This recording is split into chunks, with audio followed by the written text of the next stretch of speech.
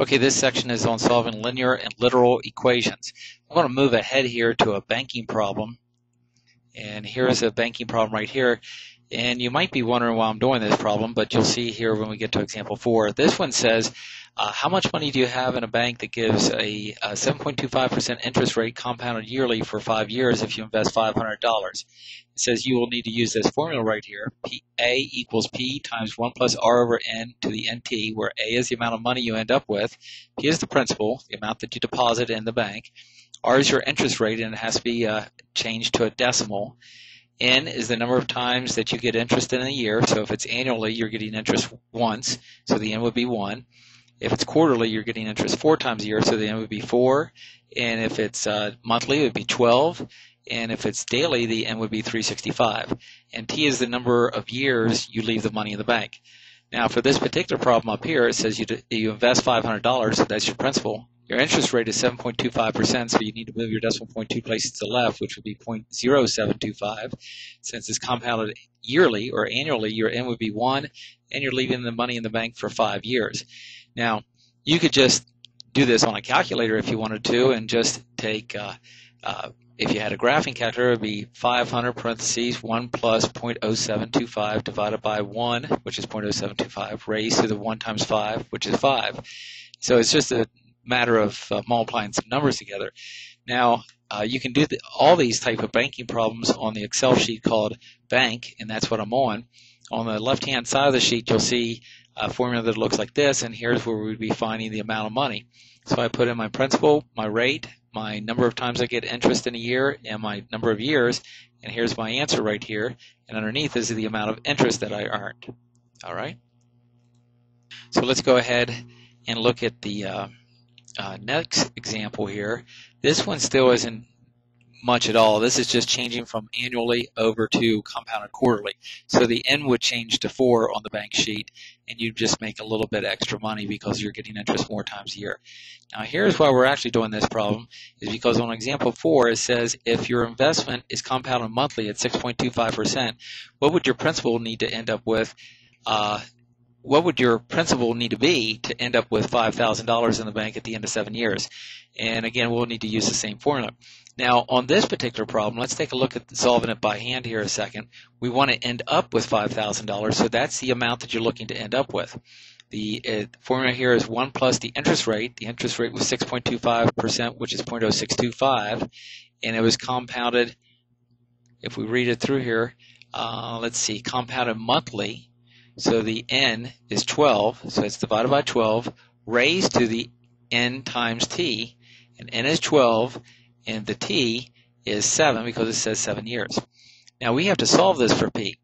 Now, uh, what you could do if you were going to uh, do this uh, on a calculator, you could take uh, this 0.0625 divided by 12, and then add 1 to that answer, then take that answer and raise it to the 84th power because 12 times 7 is 84. Then you would get some really messy uh, number here that's times p that equals 5,000. Well, that's an equation that needs solved, so you would have to divide by whatever this is on both sides. Or you could just do it right off the bat and just say 5,000 divided by this hunk of stuff. Now you could type that into any white cell on the Excel sheet. So again, I need to take 5,000 divided by this stuff, and I'll do that on any Excel sheet here. Let's see. Let's just uh, tell you what. I'll just go back to the instruction sheet and and use a uh, you know, this cell here that gives you a lot of decimal places. So let me shrink this down a second. And we need to take, so I'm going to uh, give myself some room. So again, to solve this equation, we need to divide both sides by this quantity here. So I'll need to take, if I wanted to do this just on a calculator or on Excel, I would type in equals 5,000 divided by this quantity right here, which is 1 plus 0.0625 divided by 12 close parentheses. And now I'm going to uh, raise that.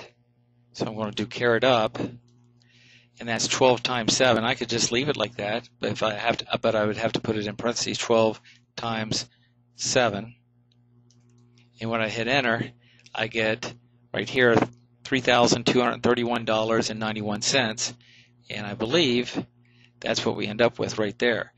So we can do these, you know, on a calculator or in Excel, but the Excel sheet, we have um, this banking sheet. Okay, so we can do this right over here where we're finding the uh, principal. So finding the principal, the amount that we need to end up with is 5,000. I type that in. Here's your interest rate of 0.0625.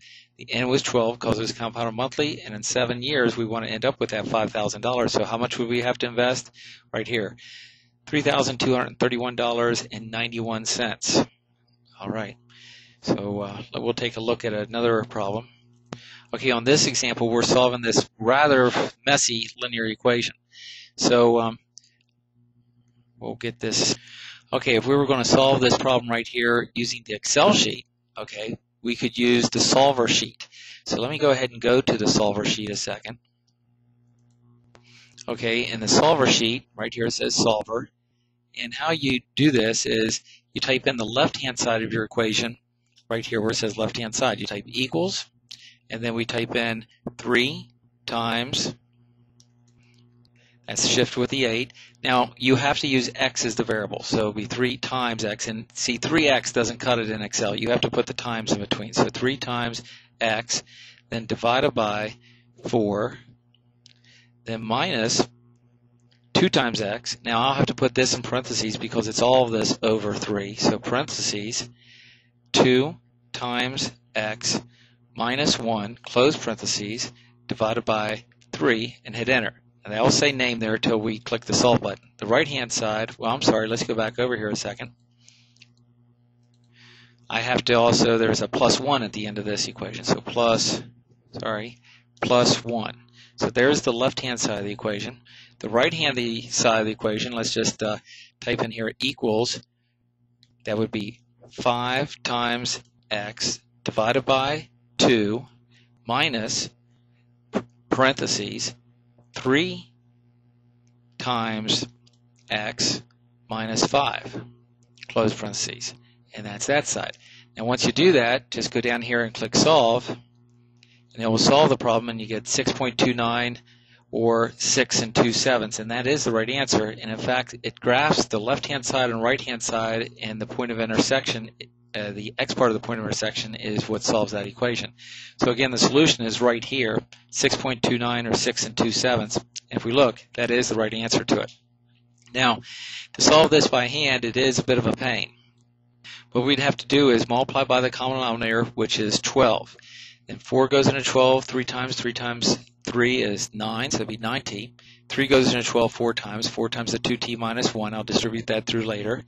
Plus this 1 is over 1, so 1 goes into 12 12 times. 12 times 1 is 12. That equals, let's go back to it here, that equals 2 goes into 12 6 times. 6 times 5t is 30t. This is over 1. 1 goes into 12 12 times, and 12 times this stuff. I'll take care of that later. So I clear the fractions. That's the first step. Now distribute through the parentheses, taking the minus 4 through.